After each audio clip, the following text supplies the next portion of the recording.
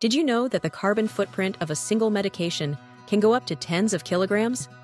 In 2022, close to 17% of NUH's carbon footprint came from medications.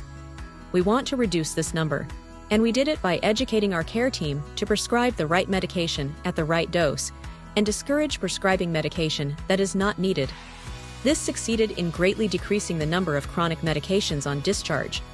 We also worked on reducing the prescription for a type of medication which contains gases that significantly contribute to global warming.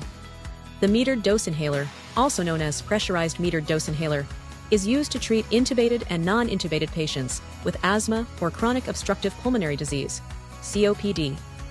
We educated our care team about the environmental harm caused by this type of inhaler and encouraged them to prescribe greener alternatives, such as dry powdered inhalers and nebulizers.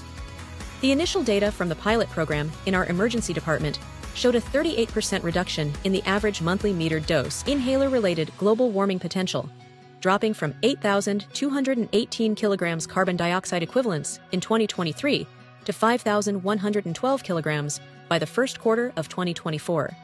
This monthly reduction in global warming potential is comparable to the amount of carbon offset by 124 trees in a year. Imagine a future where every prescription supports both health and sustainability. At NUH, that future is now.